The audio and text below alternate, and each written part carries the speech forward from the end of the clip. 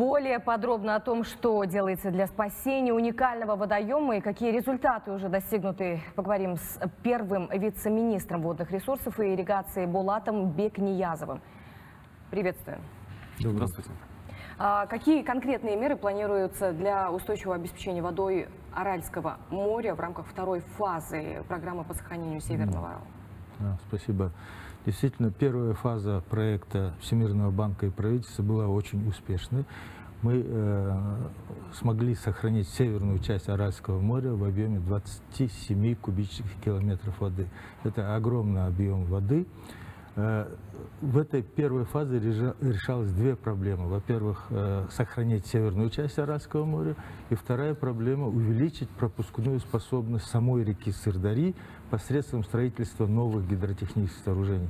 То есть, если когда нам вода поступает для Орала в зимнее время или раннее весеннее время, мы теперь э, сумеем это довести до Аральского моря.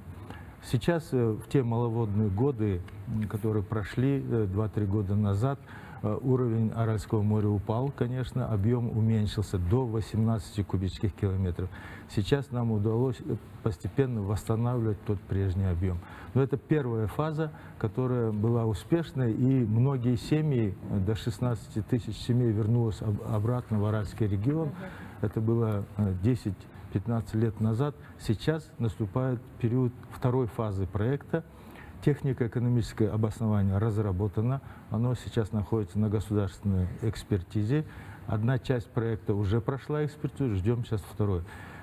По нашим планам, со следующего года мы можем реализовать вторую фазу этого проекта. Там решается комплекс проблем. В первую очередь, это увеличение северной части Аральского моря. То есть мы постараемся довести э, воды Орала до самого города Аральска. Это первое. Второе, это мы рассматриваем уже э, создание стабильной экологической системы в Южном Аральском море, наиболее большом Аральском море, где сейчас воды очень мало. Для этого в проекте ТЭО предусмотрено очень много мероприятий, в том числе и Э, доставка коллекторно-дренажной воды, которая уходит э, с полей. Э, сейчас она теряется у нас в песках Козылкомы, но по этому проекту мы доводим его до южной части Аральского моря. Плюс создаем оазисные системы в южной части Аральского моря. Это позволяет решить очень большую проблему. Это пыли, соли вынос со Аральского моря. Если северная часть Аральского моря мы покрываем акваторией воды, то южная часть Аральского моря посредством посадки саксаула и организации оазисных систем водно-болотных угодий мы предотвращаем самые главные негативные э, результаты усыхания Аральского моря – это пылесолевой вынос. В этом случае значит, и здоровье населения, и окружающая природная среда будет э, находиться в стабильном режиме. За какой период вы планируете? Э, Если со следующего года идет работы? Э, подписание соглашения о займе между правительством и Всемирным банком, мы в течение 10, 8-10 э, лет мы можем реализовать этот проект в полной мере. И я думаю, что это у нас уникальный шанс сейчас раз и навсегда решить проблему Аральского моря именно на территории Казахстана. А как раз таки экономические и социальные инициативы вы уже назвали, да, некоторые в рамках проекта угу. совместно с Всемирным банком. Может быть, еще что-то будет? Да, здесь э, второй компонент, это я рассказал только о первом компоненте проекта. Второй компонент проекта нацелен именно на Кызылординскую область. Там предполагается целый ряд э, небольших проектов, зеленых проектов, которые могут улучшить экологическое состояние, э, экономические и социальные условия жизни населения.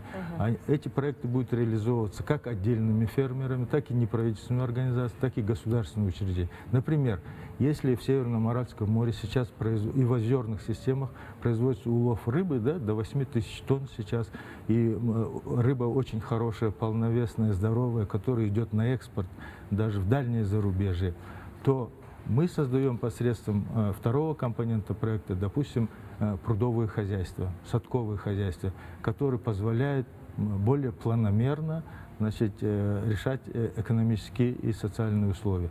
То есть не забирая у природы ту рыбу, мы можем сами ее выращивать.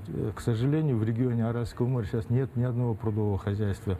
Только-только начинается процесс. Это будет стимулировать выращивание рыбы в садковых и прудовых хозяйствах. Это А- один пример. только. Как раз таки рыбный промысел зависит же от уровня воды, насколько будет. Да. И как вот планирует в будущем оно его поддерживать, министерство ваше? Да, И- вот э, для примера в этом году, как уже было сказано в репортаже, мы доставили порядка 2 миллиардов кубов воды. Да?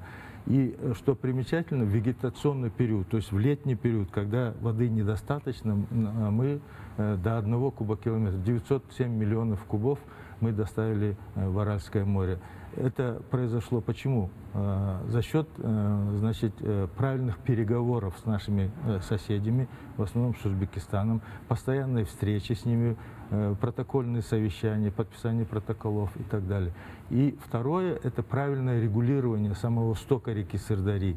В какой момент подать на орошаемые массивы, в какой момент подать на озерные системы и так далее. Все это позволило нам в период вегетации довольно большой объем, ну, такого еще не было, что в период вегетации такой большой объем воды поступал. И мы еще планируем дополнительно, уже межвегетационный период, когда для полива э, воды не нужно, мы постараемся еще 500 миллионов кубов э, доставить в Аральское море. Тогда постепенно уровень Аральского моря будет повышаться. Мгм. Замечательно. Ну и в будущем, благодаря этим мерам, удастся сохранить уровень воды как раз в Аральском море. Да, мы, мы хотим сохранить уровень Аральского моря и второй фазы нарастить этот уровень. Это прекрасный план. Э, Надеемся, Благодарим что жизнь забьет ключом в этом регионе, да. за Это информацию. У нас сегодня был э, Булат Бекнияс Мурза, при- первый вице-министр водных ресурсов и ирригации Республики Казахстан. Благодарим за информацию. Спасибо.